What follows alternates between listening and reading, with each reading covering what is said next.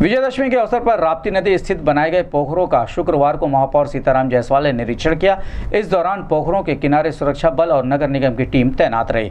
माँ दुर्गा की प्रतिमा विसर्जित करने के लिए जिला प्रशासन और नगर निगम प्रशासन के संयुक्त सहयोग से राजघाट स्थित राप्ती नदी के किनारे विशाल काय तीन पोखरों का निर्माण किया गया है। विजयदशमी के दिन भगवान श्री राम द्वारा रावण का वध होते ही माँ दुर्गा की प्रतिमा विसर्जित करने की तैयारियाँ होने लगती हैं। हज़ारों की संख्या में श्रद्धालु माँ दुर्गा की प्रतिमा को नदियों में विसर्जित करते हैं, लेकिन प्रदूषण नियंत्रण बोर्ड के नियमानुसार नदियों को प्रदूषित होने से बचाने के लिए प्रतिमा विसर्जन का वैकल्पिक व्यवस्था किया गया है, जहाँ श्रद्धालु माँ दुर्गा की प्रतिमा विसर्जित कर रहे हैं। इस संबंध में गोरखपुर न्यूज़ संवाददाता से बात करते हुए महापौर सीताराम जायसवाल ने कहा। डीजे ना बजावे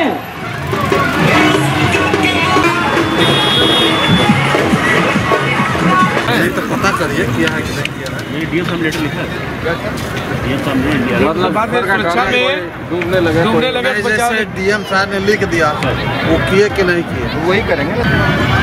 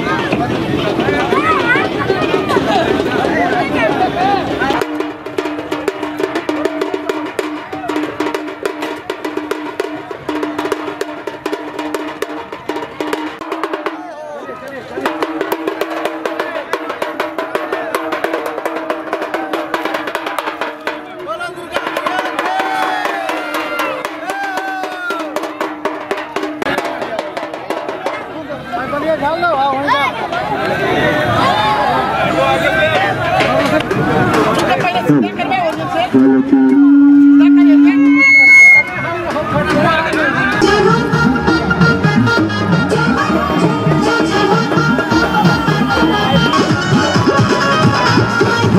hello,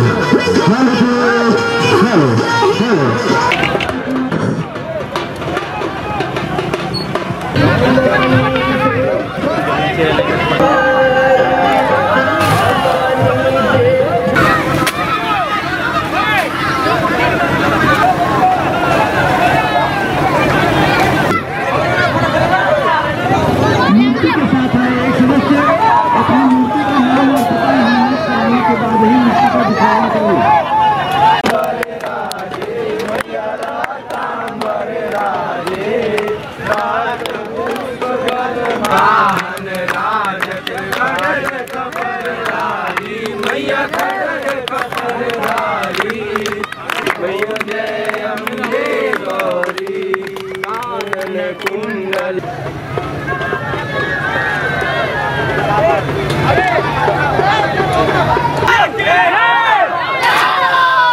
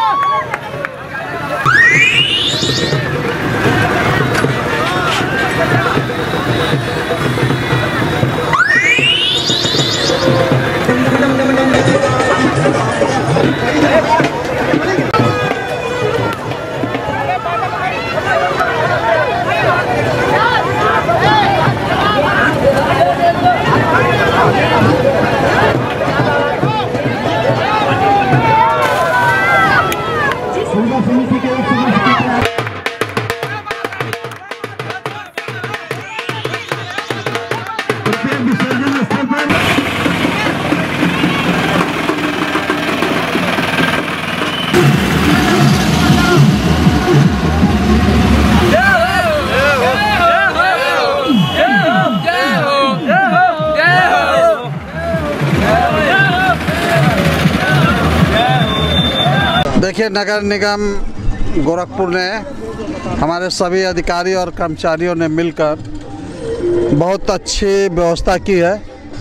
यहाँ पर बड़े बड़े तालाब बनाए गए हैं, जिसमें आसानी से दुर्गा पूजा समिति के लोग आकर के इस मूर्ति का विसर्जन करेंगे और नदियों को प्रदूषण से बचाने के लिए नगर निगम ने कार्रवाई की है। नगर निगम की हमारे सभी कर्मचारी, स्वयंसेवी संस्थाएँ यहाँ पर पंडाल लगा कर उपस्थित हैं और हर तरह के मूर्ति विसर्जन करने वालों के यहाँ सहायता के लिए नगर निगम की टीम पूरी तरह से तैयार बैठी है। मैं सभी समिति के लोगों से अपील करता हूँ कि इसका फ़ायदा उठाएँ, नदियों को प्रदूषण से बचाएँ, क्योंकि जल ही जीवन है। अगर तालाबों में विसर्जन करेंगे तो हमारी नदियाँ प्रदूषित नहीं होगी। इसलिए मैं नगर निगम के सभी कर्मचारियों को मैं अपने तरफ़ से धन्यवाद देता हूँ कि इतनी अच्छी व्यवस्था उन्होंने की है और मैं नागरिकों से भी अपील करता हूँ कि इसका फ़ायदा उठाएँ और नगर को स्वच्छ और सुंदर रखने में सहयोग करें। सुरक्षा के देखते हुए किस तरह की व्यवस्था की गई है? सुरक्षा के लिए हमारी टीमें लगी हुई है। मैं अभी पूरे शहर का भ्रमण करके आ रहा हूँ। जहाँ जहाँ पर ज़रूरत है वहाँ वहाँ हमारी सुरक्षा एजेंसियाँ, पुलिस के लोग, और भी तमाम तरह की स्वयंसेवी संस्थाएँ, नागरिकों की और मूर्ति विसर्जन करने वालों की सुरक्षा में लगी हुई है। कहीं पर कोई कमी नहीं है। हमें उम्मीद है कि हम अच्छी तरह से इस मिशन को पूरा करें।